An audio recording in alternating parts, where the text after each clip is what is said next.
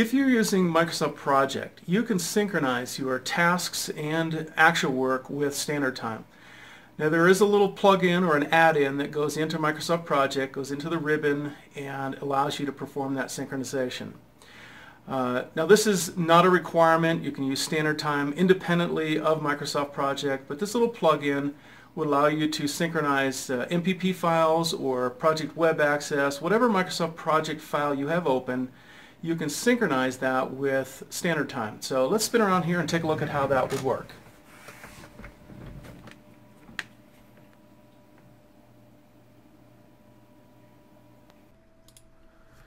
There are multiple ways to synchronize tasks in actual work between Microsoft Project and Standard Time.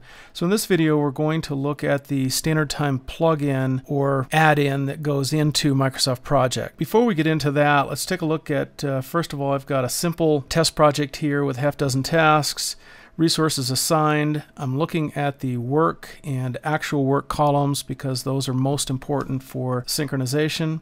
If I go to the view menu, click task usage, you can see I'm also looking at the work and actual work columns and I've right clicked here to choose the actual work field in the uh, details because that's where the hours are going to come into Microsoft Project from standard time. So uh, again, back to the Gantt chart. As soon as I perform the synchronization, you're going to see all of these tasks over in standard time. And then we can type some hours into the timesheet and get them back into Microsoft Project. So let's click the Project tab. And over on the right hand side, you see a new button that's added here for the plugin, and that allows you to synchronize with standard time. So I'm going to click that. The first thing it wants to do is know which project we're going to synchronize with or integrate with. And I'm going to choose to create a new project. Uh, this by default comes up with the name of my Microsoft project file. I'm not going to choose a client just yet, just create the project and then click OK to synchronize. So now that the synchronization is done, we're going to see all of these tasks over in standard time. So let's switch over and see what happened. So we see a new project here in standard time. List of our tasks. You see them all listed here with the links. The duration column is equivalent to the work column over in Microsoft Project, and then you have your actual work. So there's zeros in all of these tasks because we haven't typed anything into the timesheet. So let's uh, go ahead and type some hours into the timesheet. I'm going to open up this project and I'm only going to see the tasks that are assigned to me. And that's the resource assignment that you have over in Microsoft Project. So let's type some hours into some of these tasks.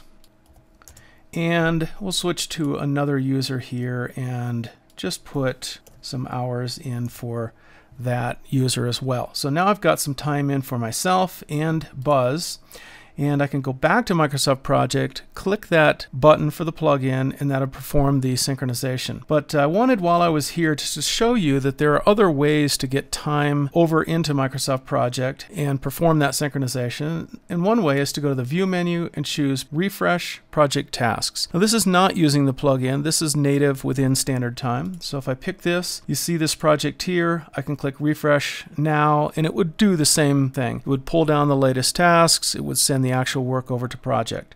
But I'm not going to do it here. I'm going to do it in project so you can see that plugin. So back to Microsoft Project. Again, we're looking at the project tab.